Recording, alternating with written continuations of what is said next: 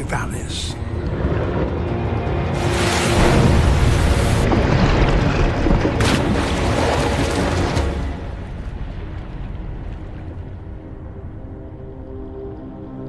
Usually, they are solitary hunters, but about 50 of them have come here from neighboring reefs, attracted by this abundance of potential prey.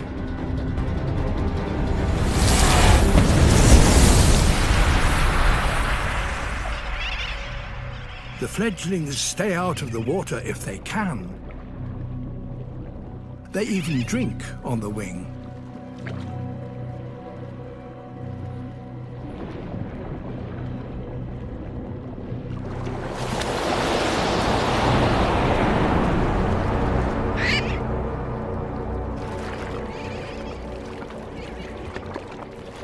If the Trevally are to catch one now, they have to up their game.